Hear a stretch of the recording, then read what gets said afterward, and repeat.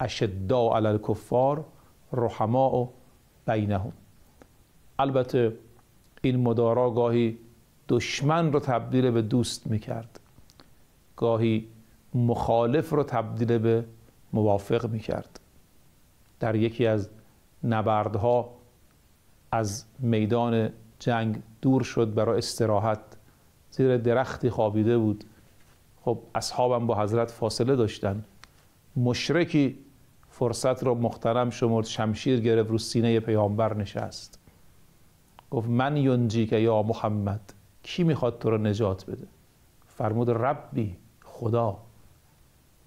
جبرئیل آمد به کمک اون مشرک رو انداخت.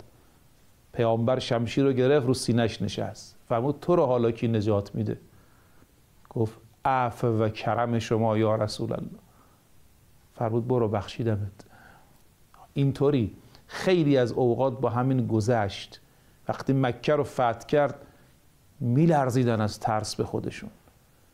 فرمود من با شما چه کنم؟ این همه جنگ این همه آزار.